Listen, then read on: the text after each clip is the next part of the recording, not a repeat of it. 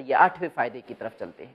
आठवां फ़ायदा, एक नमाजी जब भी नमाज़ अदा करने के लिए अल्लाह के घर में जाता है, अल्लाह की तरफ़ से जन्नत में उसकी मेहमान नवाजी तैयार की जाती है। अल्लाह अकबर खुश नसीब हैं वो लोग, जो नमाजी हैं, रोज डेली सुबह और शाम जाते हैं और अल्लाह रब्बुल आलमीन उनकी मेहमान नवाजी जन्नत में तैयार कर रहा है।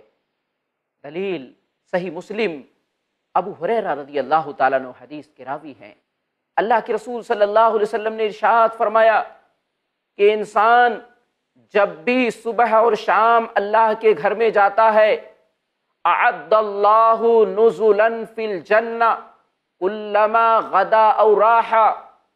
सुबह और शाम जिस भी टाइम अल्लाह के घर में हाजिर होता है अल्लाह रब्बुल आलमीन जन्नत में उसकी मेहमान नवाजी की तैयारी करता है।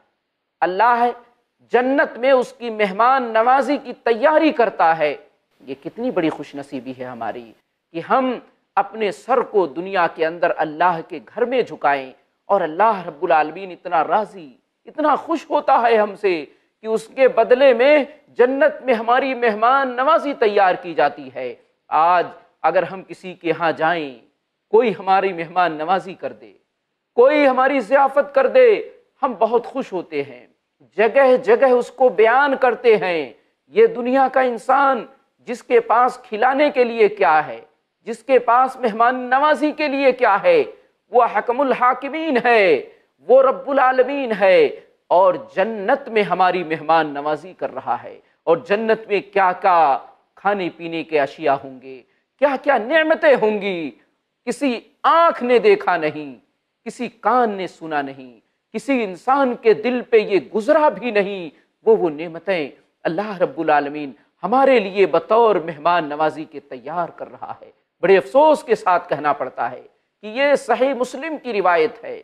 ऐसा भी नहीं कि हदीस ज़यीफ हो, झूठी हो, पता नहीं सही है कि गलत है। बिल्कुल सही हदीस है, उसके बावजूद भी अफसोस हम मस्जिदों से दूर भाग रहे हैं। अफसोस, अल्लाह की मेहमान नवाजी को हम कबूल करने के लिए तैयार नहीं है। मुसलमानों, गौर करो अपनी हालत पे। कितनी बड़ी हमारी बदनसीबी है कि अल्लाह रब्बुल आलमीन हमारी मेहमान नवाजी के लिए तैयार है। जन्नत में हमारी मेहमान नवाजी तैयारी कर रहा है। अफसोस, हम अल्लाह की मेहमान नवाजी के लिए तैयार नहीं हो रहे। ये आठवां फ़ायदा होगा।